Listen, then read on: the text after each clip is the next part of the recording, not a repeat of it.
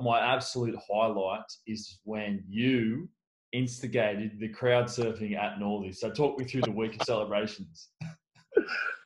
Yeah, well, we had obviously it was so the game finished and we we all you know in the sheds and everyone was on the drink there and have a good time and then you know it's always cool. Then you go out.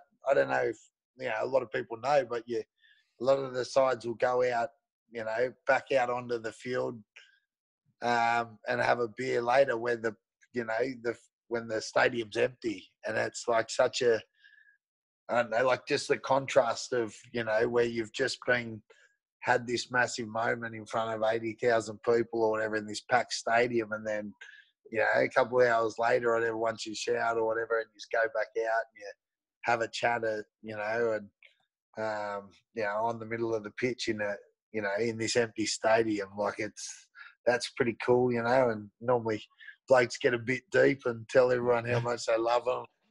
You know, it, it becomes becomes emotional because there's there's players that obviously are moving on and doing things. So you know, like anything in footy, you know, there's, you're not always going to be this exact same group of blokes, and you know, so so that's always cool. And then we went back to caught the bus back to um, the Shire, and you know, the the field was chockers. It was about you know two three o'clock in the morning, and the fans had been waiting the whole time, just sitting there and we're doing shoeies up in the grandstand. and, I remember it was Capes and Cape because Capes loved the shoeies.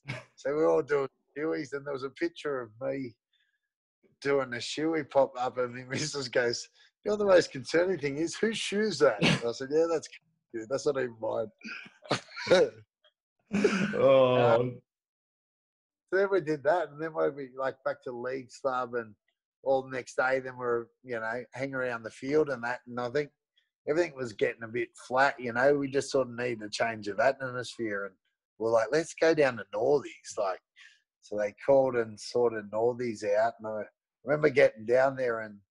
Um, Damian Keogh goes said to me, he goes, Jimmy, should we get the trophy down here? And I said, bloody oath, damn right. So I got on the phone to Lyall Gorman and I said, I'm blind. I said, Lyle, you've got half an hour to have this trophy in Northies, or there's all sorts. And then we're, we're cruising, cruising around and just hear Northies erupt and Gal's walking, Gal's walking through with the trophy above his head and the joints just going absolutely bonkers.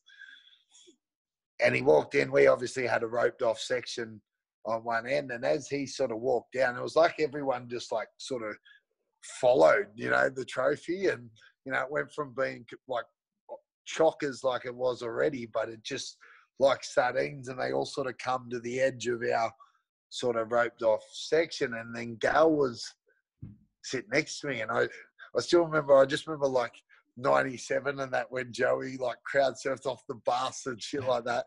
And I've always been like, you know, and you see like singers and and that crowd surf. I was like, you know what, that would be all time. Like, and I remember sitting there and I was looking at these people and I go, Gal, I'm gonna go, I'm gonna go crowd surf on him.